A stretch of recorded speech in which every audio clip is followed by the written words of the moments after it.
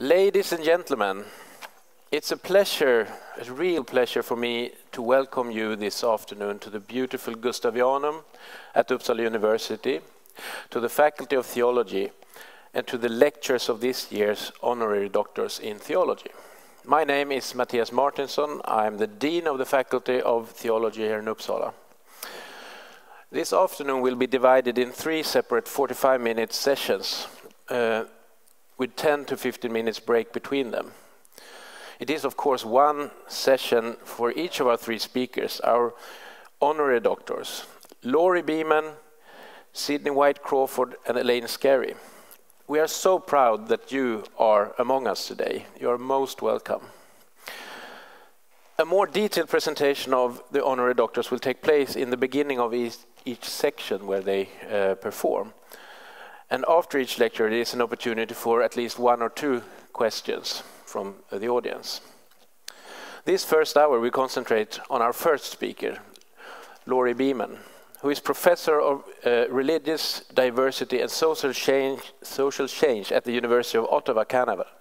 Professor Beaman is an internationally renowned scholar who, among many other things, has written extensively on the effects of globalization and migration on Western societies with a Christian tradition and heritage.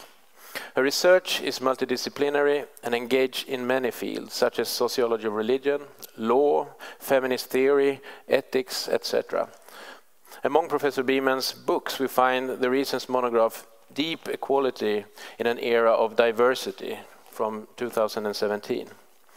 Another monograph is uh, Defining Harm Religious Freedom and the Limits of Law from 2008. She has co edited a number of volumes, one with the title Atheist Identities, Spaces and Social Context 2015. The latest among the impressive number of scholarly articles in journals is a recent text, Living Well Together in a Non-Religious Future or Religious Future, depending on how you uh, interpret the title. This is published in the journal, journal Sociology of Religion 2017. Professor Beaman is also international advisor to the research program Impact of Religion, hosted by the Department of Theology here at Uppsala University. And in 2017, she got the Canadian Social Sciences and Humanities Research Council Insight Award for her work within the framework of her concept Deep Equality. Professor Beaman, it's a true honor for the Faculty of Theology to have you here in Uppsala this week, and we are now all eager to hear more about your own research. Once again, welcome. The floor is yours.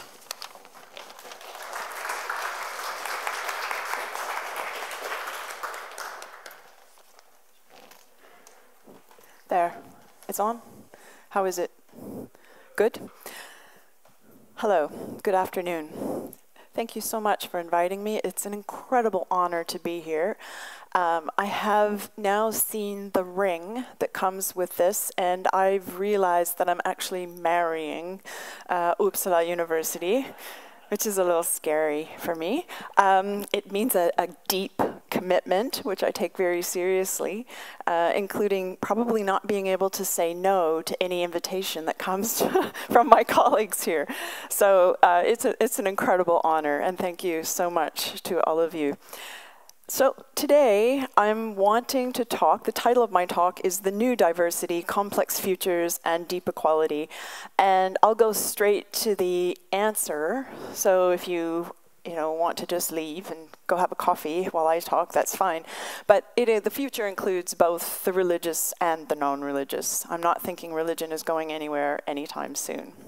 So today I want I have four goals in this talk.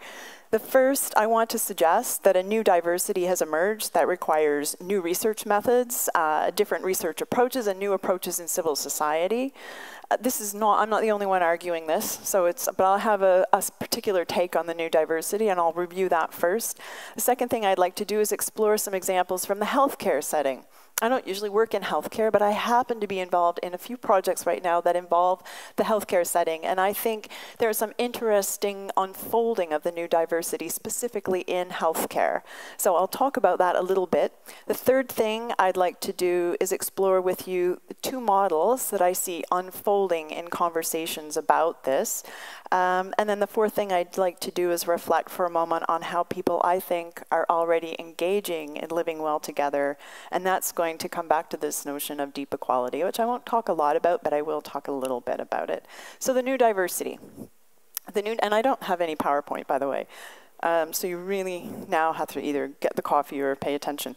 Um, so there are four pieces to this new diversity I'm talking about, and I'm specifically thinking about religion here. So there are other pieces to what people might call new diversity or super diversity, but I'm, I'm focusing a bit on religion or non-religion, and that's where I'm starting. So some new developments around diversity are changing the nature and shape of what we describe as the public sphere. Have, this feels like it has a bit of feedback. Do you want me to move it a bit? There, better? Okay, all right. Um, so first, during the past decade, something rather phenomenal has happened in a number of Western democracies. For the first time ever, census data and population, population surveys show that a critical mass of people are non-religious, identifying as none when asked their religion. N-O-N-E, not N-U-N. I gave a talk about non-religion in a Catholic hospital a while ago, and I had to really emphasize that when you say none. Um, so uh, here I'm probably a little safer. Um, so 24% of Canadians, for example, self-describe as nones or non-religious, according to the most recent data available from StatsCan. And this figure is up from 16.5% in 2001. Canada is like many other countries in its increasing none population. It's increasing rather rapidly. In many cases, the increase has been by 20% over only a few decades. Uh, other examples include the United States, which is showing at about 20% now.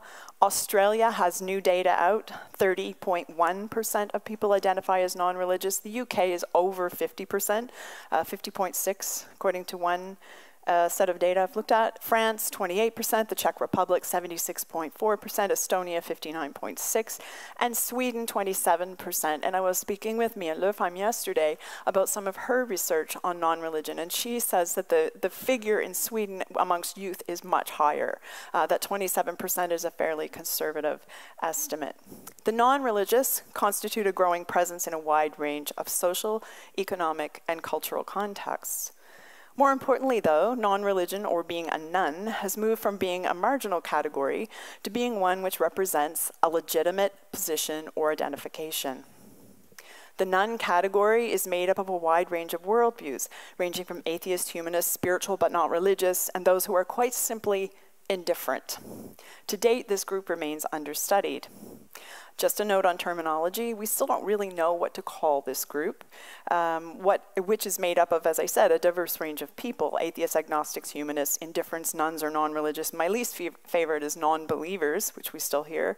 Um, and that, those are all placeholders for a group whose contours we don't fully understand, although this is changing um, somewhat rapidly, given the research that people are doing, inc including uh, Mia Lövheim, also uh, Anders uh, Holboy, uh, Swede. This is one of my commitments, being married to the University of Uppsala is I'm going to have to improve my Swedish. Um, so one of the problems of non-belief is that there, with the term non-belief is that there's an implication that the non-religious don't have beliefs. Often that's extended to that they don't have values or morals, and underlying all of that is a tussle about the roots of morality and values, and a moral panic over a godless world that seems to be on the horizon. So that's the first piece of the new diversity. The second piece is a decline in institutional religion. So as we might expect, there's a simultaneous change, um, and that there has been, a, with the increase of the non-religious, and that there's been a rapid decline in uh, commitment to organized religion. Now here I think it's necessary to mention the work of Grace Davie, whom I know quite a number of you know, um, and her work specifically on vic vicarious religion and believing without belonging. And Grace, essentially, this is a, a very simplified version of Grace's work, but um, she essentially argues that there's a small group of people who are performing religion for the rest of us who might not necessarily want to participate. So they're doing particular work for us. Uh, Grace uh, just has a special connection to Uppsala University as well, and I'm honored to be in the same company as her. I think the important point here is that this lack of commitment is complicated, and it's not um, clear exactly what the non committed are doing. It's not that they're unaffiliated, it's that they're really not committed. Many of them are not identifying as non religious. Many of them still identify with a religious tradition. In Sweden, that's about 65% of people, and in Canada, it's about the same. The percentages are about almost identical. But many are not supporting the churches in tangible ways. And this results, among other things, in an abundance of church buildings available for condominium development. I don't know if that happens here or not. Are churches transitioning to condominiums here? No. This is happening in, in North America perhaps more than um, so condominiums, uh, I'm doing some research with a postdoctoral fellow named uh, Monica Gregori in Montreal, and we're looking at the transition of spaces. So for example, one of the things that we see there, uh, a Grey Nuns convent transformed into a university residence uh, and study area. Um, in fact, I taught, when I taught at Concordia, I taught in the convent. The, the transition was just happening then, so I was teaching in a classroom that had uh, crucifixes and various other uh, religious paraphernalia on the walls and in the hallways as I entered the building. Um, we also see a church converted to a seniors home, an Orthodox and Catholic group sharing the same church space because neither can afford their own churches, um, and maybe I might say not too happily sharing the same space, and but recognizing that they need each other, so they have to share the space. An increasingly prevalent architectural figure in in uh, cities uh, or city developments is the remnants of a church building incorporated into a new development. So you'll see uh, in Montreal, this is quite common. a, a a wall of a, of a former church that's been sort of folded around with modern architecture. So there's some kind of idea that one should preserve some piece of this architecture uh, or remnant of the history or, or heritage. Uh, as rural populations decline, once vibrant country churches are closing, and of course, coming with all of this are feelings of loss. Uh, there are amalgamations of congregations, debates about who should amalgamate, um, which churches should be closed, essentially closed down and sold off. So this is happening quite frequently, actually. So this is the second piece of the new diversity. Uh, this group who are who have an affiliation but aren't really committing in any tangible way. The third piece is the acceleration of migration. So the third change is an acceleration of migration, often to the same countries in which the number of non-religious has increased so dramatically and rapidly. Migrant groups often bring with them religious practices and traditions that, while present in the receiving country, have been largely unnoticed or under the radar. Um, they've just been small, small pieces of the population. In Canada, between 2001 and 2011, the percentage of those who identify as Hindus, Sikh, Buddhist, and Muslim increased from 4.9 to 7.2, which might not seem like a lot, but it's an increase in visibility and, and bodies, if you will. Um, and this group accounted for 33% of immigrants who arrived within that 10 year period. Australia has a steady increase of the same groups, with Hindus, Buddhists, and Muslims increased from 3.9% of the population in 2001 to 6% in 2011. In the UK, something similar from 5% to 7.5% between 2001 and 2011. And according to Statistics Sweden, as of 2016, 17.65% of the population is foreign born. In Canada, it's around 21.45% of the population is foreign born. The statistics are similar in many Western democracies. With increased numbers often come increased, comes increased public visibility. Migration and its entanglement with religion is, of course, nothing new. Uh, there's a long history of this. There's a long history of migration related to religion, religious issues in various ways from a range of groups and for a range of reasons, including Jews, Muslims, radical Protestants, Hindus, and Mormons. So that's the third piece. The fourth piece indigenous populations. So there's a renewed attention to indigenous populations and their treatment.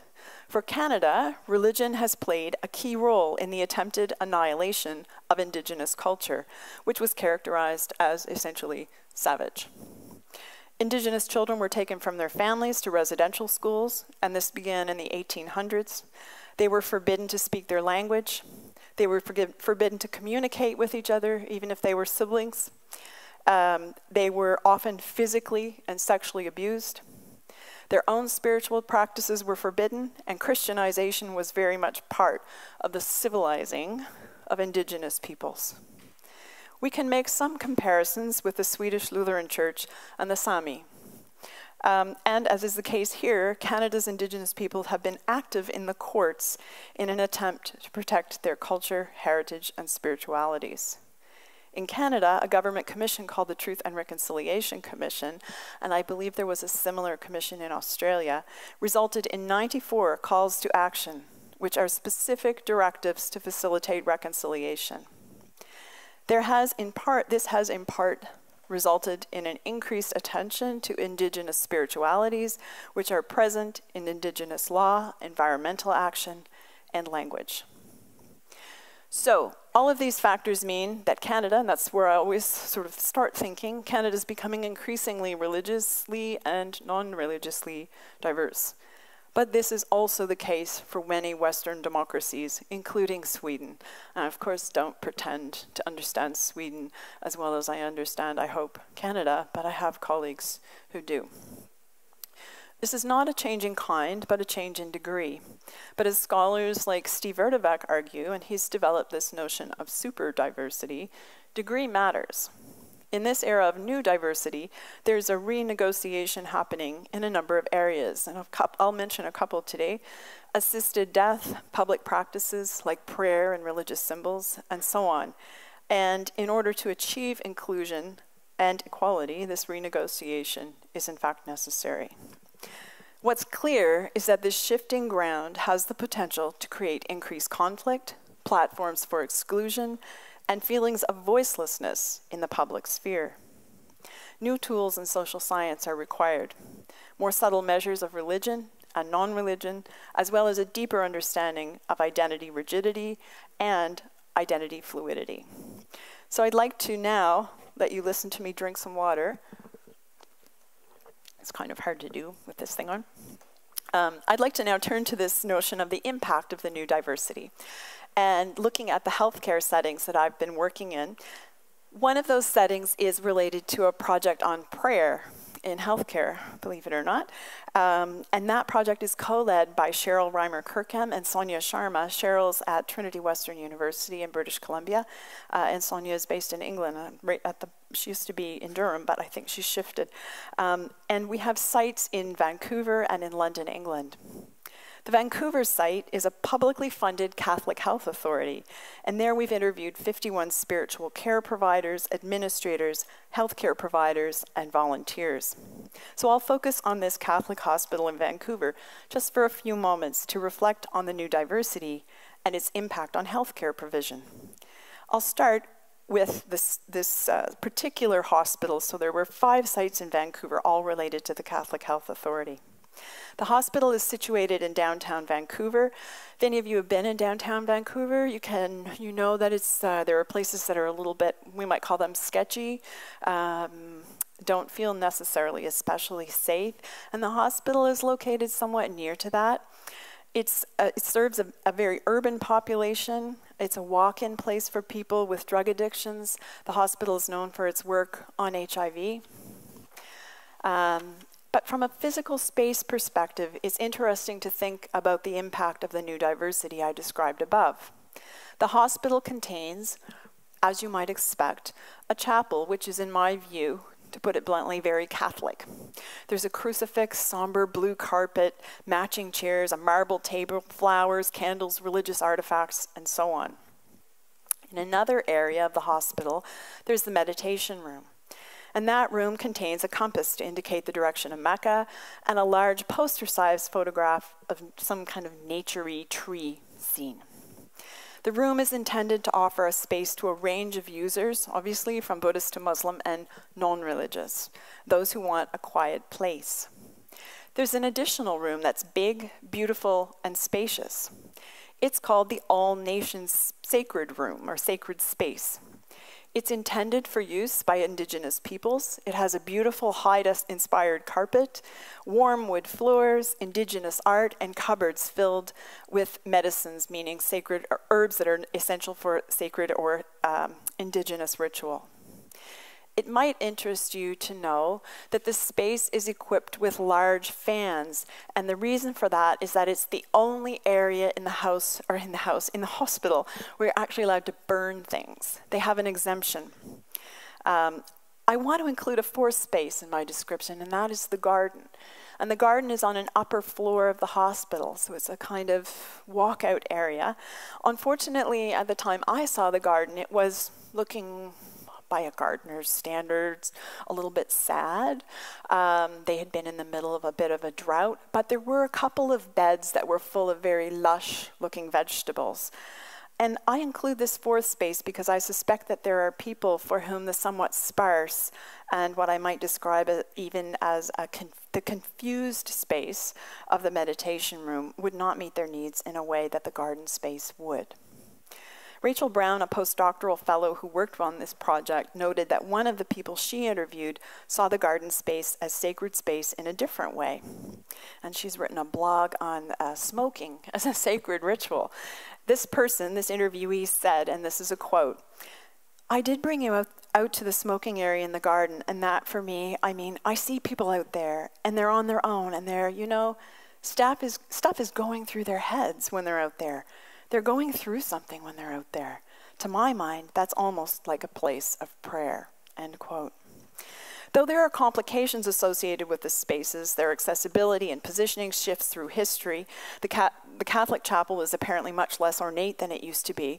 For my purposes, I simply want to highlight the changes that the new diversity has have prompted in a space that formerly would never have seen an alternative to a chapel, there are now four spaces that attempt to meet the needs of this complicated new world. The staff and volunteers, too, are aware of the new diversity and the need to shift their practices in response. As one of our chaplains so succinctly put it, it's often the case that in one room there are four beds, four residents, four religions, and four languages. For the most part, we found our participants to be genuinely struggling to step outside of their own worldviews, which were predominantly Christian, to sort out how to best meet people's needs in a rapidly changing caregiving context. The healthcare setting is unique in that people are vulnerable, and caregiver and receiver are enmeshed together in a highly intimate setting. There are unequal power relations, to be sure.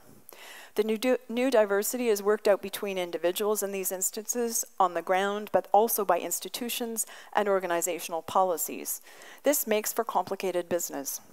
The will to religion, particularly Christian religion, is strong and often invisible to those who are immersed in it. One interviewee describing nature in the garden said, and I quote, It's just nature, it's just beauty. You know, the way I've described nature is that nature takes you outside of yourself it kind of points to a creator. So I think it gets people into that transcendent realm. It's just, it draws you to something beyond yourself, a life force that can create this kind of beauty, you know? End of quote. Laying the gloss of belief over those who share the garden space comes perilously close to universalizing a religious worldview. the universalizing tendencies of Christianity have been written about by Boyarin and Boyarin and others, and I won't expand on them here. This will to religion overrides the interpretations of those engaged in the activities themselves, sometimes feeling like a paternalizing and patronizing move. For the non religious, a space may inspire awe without having any link to transcendence or a creator. Organizationally, there are subtle reinforcements of Christian hegemony. There's a Catholic priest who is paid by the hospital, multi faith volunteers, and generic paid staff who are mostly Christian. There's a belief that the Christian spiritual care providers can care for everyone. Again, a sort of universal default position. Indigenous elders are on a stipend rather than a salaried position in the spiritual health department. Most recently, the issue of assisted death or dying has brought to the foreground the tensions between religion and healthcare, not only in religious hospitals, but in hospitals more widely, as healthcare providers request exemptions from providing assistance in death. So, this follows a Supreme Court of Canada ruling called Carter In, Car- in Carter, the Supreme Court essentially said that people should be able, especially people who are terminally ill, should be able to choose the time and place of their death. So we've turned, we've, we've um, shifted the law in Canada so we now accept assisted dying as a reality and as something that our healthcare system should be providing in certain circumstances. So the Supreme Court support, used the language of the sanctity of life. It's a kind of interesting decision if you're into legal decisions, and I happen to really like them, but um, not everyone finds them as exciting as I do. But they use this language of the sanctity of life and they flip it a bit. So they use sanctity of life to support the position that people who have a chronic Ill illness have the right to decide when and how to die. My position is that the Carter decision represents the court's move from a religious position or a religious stance on dying to one which is non religious. Again, we see a mixed response to this new aspect, or to this aspect of the new diversity. On the one hand, some religious healthcare providers express respect for those who wish to access medically assisted dying. Though they themselves will not provide it, they will ensure, with, uh, they will ensure that their patients are connected to resources that allow them to have that option. On the other hand, some religious healthcare providers express the view that people in such positions just don't understand dying, are afraid of pain when they don't need to be, and if only they understood the process better, they would not want to access medically assisted death. Here again, we see a subtle I know better approach that imposes a religiously motivated position about death and dying on everyone. So, while the, the Prayer Project has encouraging evidence of responses to a new diversity that would facilitate living well together, there are also traces of resistance, a will to religion that imposes a logic and practice of majoritarian religion on those who do not share that, do not share that worldview. The second healthcare example I want to turn to is from the province of Quebec. And that province has a peculiar uh, and particular history of Catholic dominance that is presently manifested in what someone has called a Catho-laïque, in other words, a Catholic secular uh, manner. Again, we turn to a hospital for the story.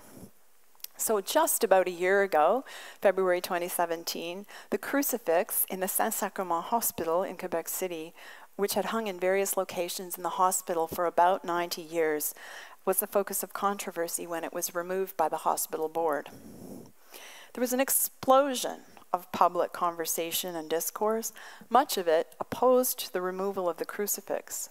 Someone, an unidentified patient of unnamed religious or non religious pedigree, had complained about the crucifix. After discussing the matter thoroughly, taking into account the diversity of its patients, the fact that the hospital board, as they said, that people don't come to hospitals by choice, that they're there under um, the circumstances of their healthcare needs rather than wanting to spend time in the hospital, uh, consulting the provincial human rights guidelines, the, the hospital board then decided after these considerations to remove the crucifix. Christine Cusack is a PhD student I work with, and she and I have examined some 40 documents, newspaper articles, blogs, press releases, and website statements to analyze the public discourse about the Saint Sacrement incident. The language of those who objected to the removal of the crucifix in the brouhaha that ensued was dominated by words like culture and heritage. And just a piece of information that I realized you might not know about Canadian healthcare context, and that is when I say Catholic hospitals, those are not hospitals that are not publicly funded. Those hospitals are publicly funded, but because of histor- essentially historical residue, um, they continue to uh, frame themselves within the, uh, the I suppose, the identity of a Catholic hospital. So just I, it occurred to me that you might need to know that. So the language of those who objected to the removal of the crucifix in the brouhaha that ensued was dominated by words like culture and heritage. Hardly anyone spoke about religion. Rather than defend the crucifix, drawing on its religious qualifications, the public debate and discussion focused almost entirely on culture, heritage, and the meaning of the neutrality of the state. Mention of religion was incidental. A petition to reinstate the crucifix circulated on Facebook, and that petition said, Moreover, and this is a quote, in the current context of respecting the religions that settle in Quebec, some feel that the traditions of long established people are being questioned. All religions must be respected, and the Christian religion is one of them. These people are entitled to demand respect for their culture, traditions, and religion, even if it is purely a patrimonial one. The premier of the province, Philippe Couillard, weighed in, said, being open and tolerant does not mean erasing our heritage and history, which is how he read the removal of the crucifix as an erasure of heritage and history. A conservative Catholic group, Mouvement Tradition Québec, said, We are in our country. When in Rome, do as the Romans do. Some comments were less subtle, if you can call that one subtle. Um, for better or for worse, in our world, religions, in our world, religious identities are resurging.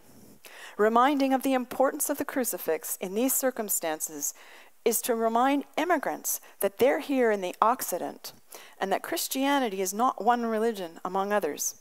It's that which formed our civilization. Everyone must accept this. End of quote.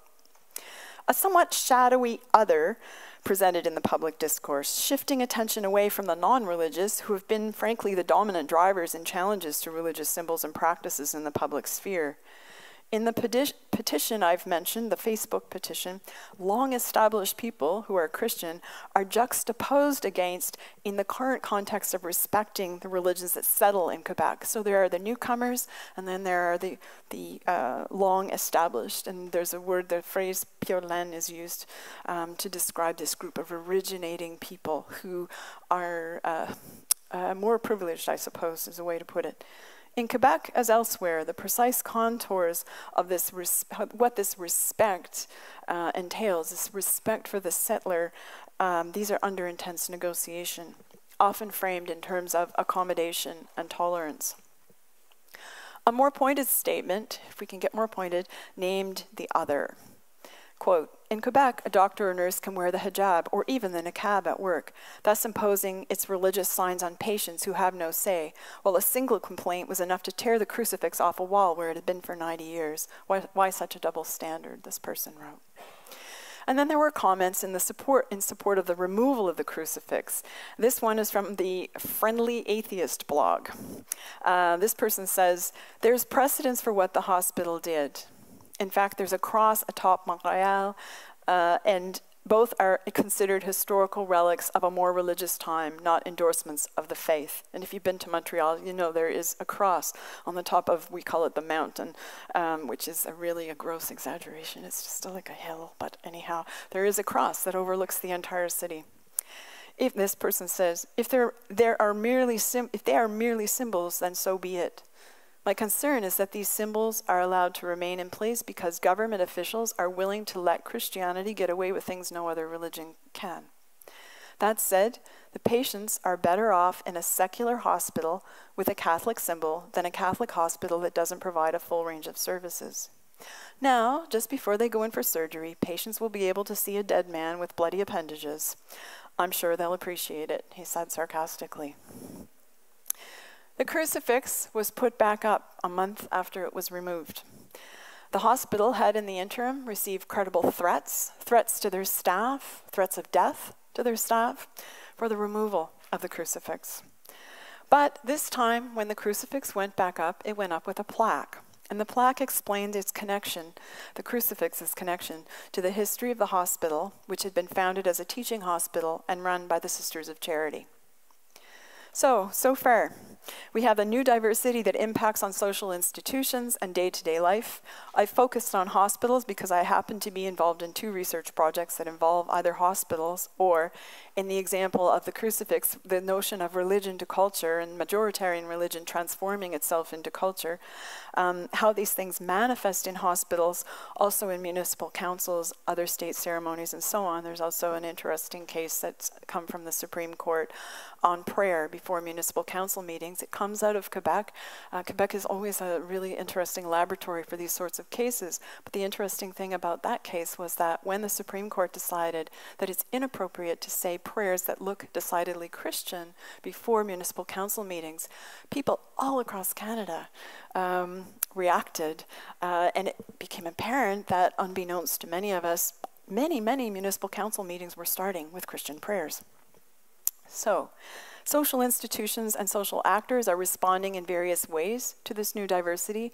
Some, as we saw in the prayer project, with good intentions, respect, and a willingness to cede power and make reparations, as in the example of the First Peoples space. On the other hand, we have resistances, a move to entrench majoritarian religious practices through the vehicle of culture and heritage.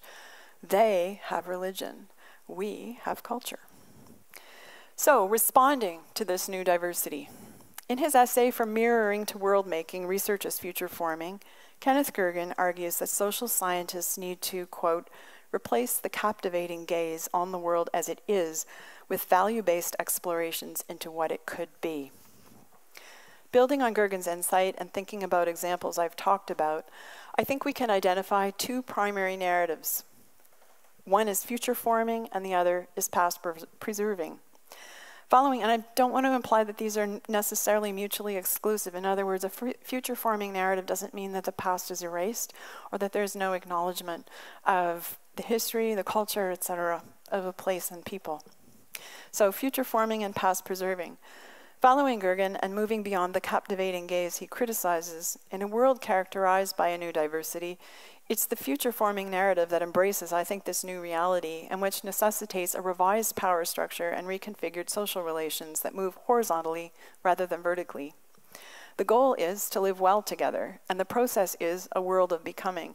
And here I rely on political theorist, uh, American political theorist William Connolly, and I'm going to quote him just briefly um, the world of becoming, in which it is, he says, imperative to negotiate new connections between non theistic constituencies who care about the future of the earth and numerous devotees of diverse religious traditions who fold positive spiritualities into their creedal practices. So that's Connolly.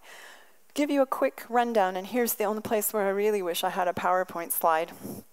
Um, the two narratives one past preserving, one future forming. And I'll give you some key points from both of those, and then we'll sort of get on to the deep equality piece of this. Um, under the past preserving model, social relations are vertical. The conceptualization of religion is becoming more described as culture and heritage, foundational, tradition. The rhetoric is, again, foundational. This is our foundation. You have to accept that. You heard that in some of the comments uh, on the removal of the crucifix uh, in the Saint-Sacrement Hospital. The future is pluralism, not diversity. It's intercultural, preserving a sort of um, place of authority for the founding peoples. Um, it is uh, intercultural. There are clear boundaries, and there's an us and a them. Equality is imagined as formal, and the words accommodation and tolerance dominate. Keywords are values, universal, and immigrants should fit in. The impact of the presence of majoritarian symbols and practices is usually described as trivial, they harm no one, and no one has complained. The other is imagined as radical, draconian, hypersensitive, and different. The state has an obligation to protect this heritage and culture um, at any expense. And the strategy is assimilation. The future forming model Social relations are horizontal. Conceptualization of religion is a new diversity. Majoritarian religion, which is in most of our cases Christianity, is one among many worldviews. It's legitimate, but it's one among many. Rhetoric is emergent and becoming, drawing again on Connolly's work. The future is diverse, multicultural. That's not a very good word in many places these days. In Canada, we still we're starting to use it again. I think in Sweden a bit too. Um, the future is diverse, multicultural, or super diverse. Equality is imagined substantively, substantively, deeply, as textured, and context specific. Keywords are respect, context, and welcome. The impact of majoritarian symbols is significant harm to self and to others. The other is seen as belonging and is similar, and points of similarity are sought for. The state is neutral. And the strategy is inclusion, not assimilation. So those are that's a kind of brief overview. I was hoping you could just imagine the chart that's in front of me.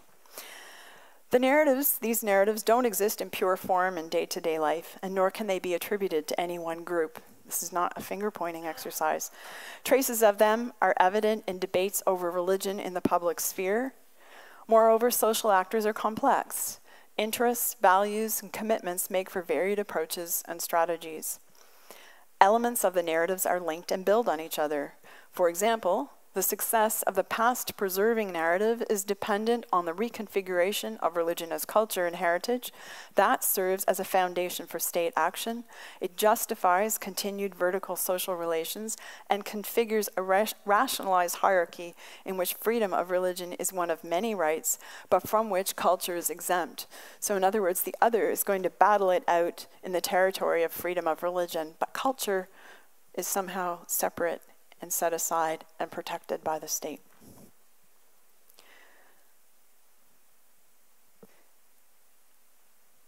In examples of the hospitals, we see both of these models.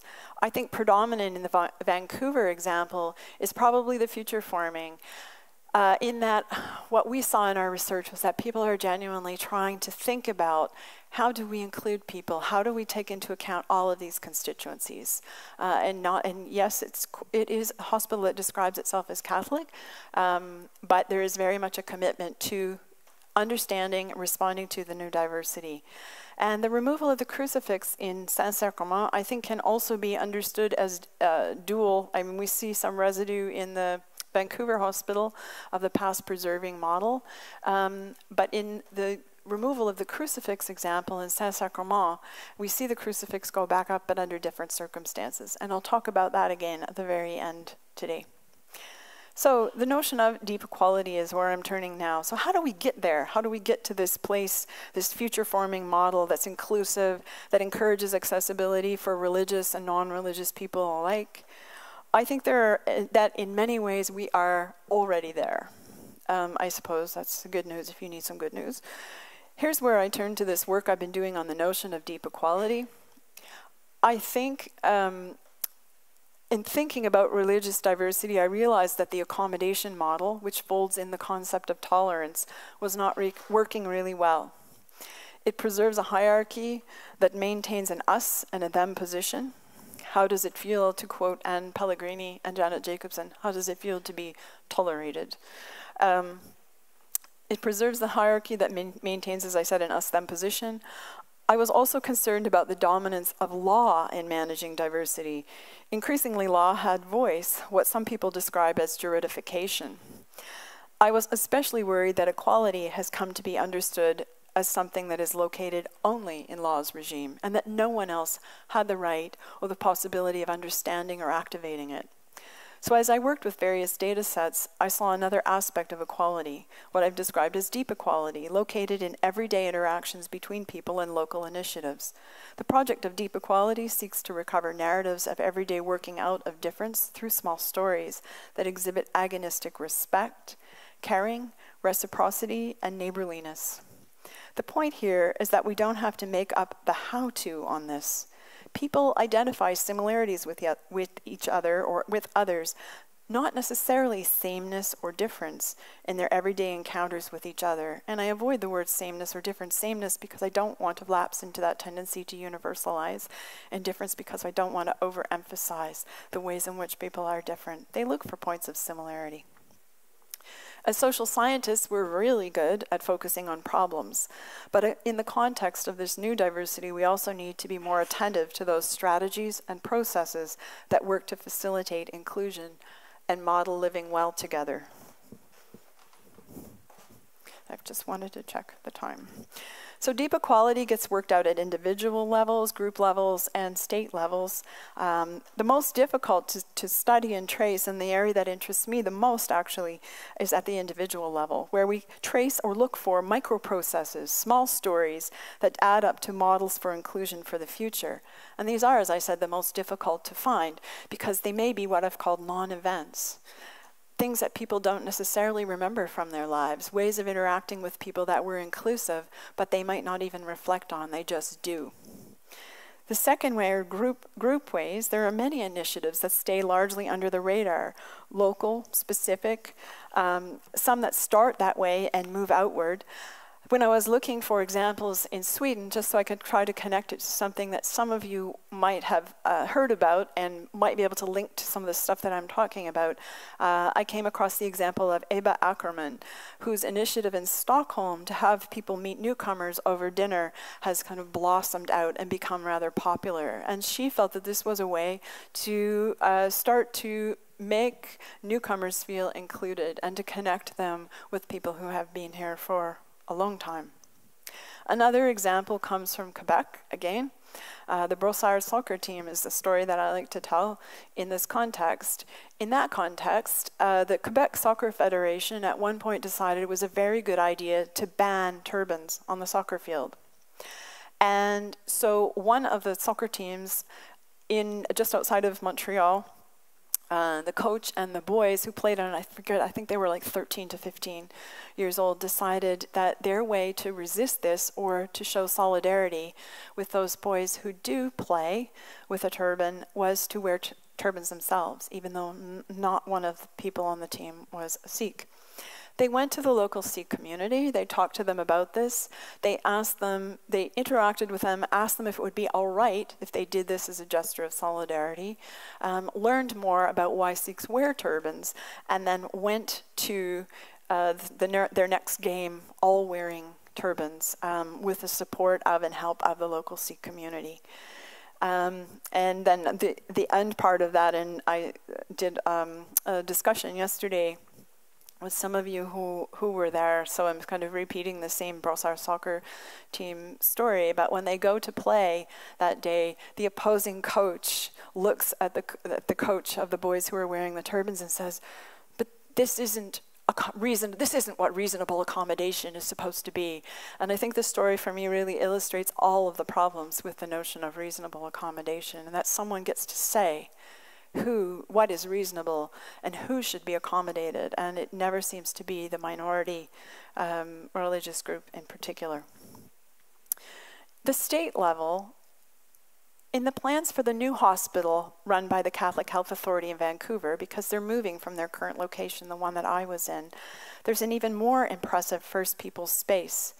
It will be centrally located, at least in the plans that I saw, in the best space in the hospital in terms of view, and accessibility. And if you've been to Vancouver, you know it can be a really beautiful city.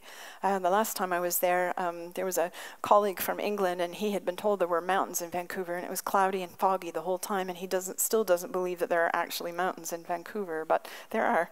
Um, at that same research team meeting, one of our team members from England, another one, asked why, given the small percentage of the population that make up Indigenous peoples, such a prominent space is given to this effort. The hospital administrator who came to show us the plans uh, and to talk about what was planned and they hoped for in terms of spiritual care explained that it was an important part of reconciliation for the Catholic Health Authority. This would be what I would call a gesture of deep equality. It's not about percentages and giving according to percentages. It's about trying to figure out who's been historically wronged. And in Canada, that certainly includes and probably is first and foremost Indigenous peoples. We might also think about the solution of the Saint Sacrement Hospital. What does the hospital's solution to return the crucifix with ex this explanatory plaque achieve? If the goal is, in fact, to recognize the contribution of the Catholic sisters whose labor has sustained the hospital over many years, the plaque may accomplish that. By putting a crucifix without explanation on the wall, there's an assumption that everyone knows what it is and shares in its message. Linking it to the sisters, to culture, and to heritage, and affirming the secular nature of hospitals may achieve the balance necessary to accomplish inclusion. It may create space for the person who says, but it is my culture and heritage, as long as she does not insist that it is the only version of culture and heritage to be told. And there are many people in Quebec who, when you have this conversation with them, will say, it is my culture and heritage, it's not religion. Um, it may include the atheist who sees no place for religion in public settings such as hospitals or council chambers, but who has no objection to acknowledging the contributions of diverse constituencies to the society in which she lives. And it may also include the person whose daily or occasional religious practice includes the crucifix, so long as he does not insist on observance by everyone. There are many who defy these categories too. The atheist who doesn't care about religious symbols in public places, and the religious person who objects to religion's colonization of public space. And again, to come back to the Indigenous peoples of Canada, many of them have a very complex relationship with Catholicism in that they might describe themselves as both practicing Indigenous spiritualities and Catholicism. Everyone, or pardon me, eraser of symbols can alienate, hurt, and create irreparable divisions. So too can inhabiting the, the inhabiting of public space by symbols that serve as a reminder of exclusion and non-belonging. This is the challenge of inclusion presented by the complex future we face, and one in which we need, we need models for living well together in the new diversity. That model will include first an acknowledgement of power and the vitality of the power and vitality of symbols and the need to contextualize them to create inclusive spaces. Second, a recognition that an absence of complaint does not equal inclusion. Vulnerable people sometimes feel that the cost is too high to object, so they just stay silent. Third, a willingness to relinquish rightness and power by those who are accustomed to having it and not to try to describe themselves as victim because they're losing a bit of power. Fourth, an examination and further mobilization of the positive contribution of the constituent, constituent parts of new diversity. This is what the new diversity for, presents for us in terms of living well together in the future. Thank you.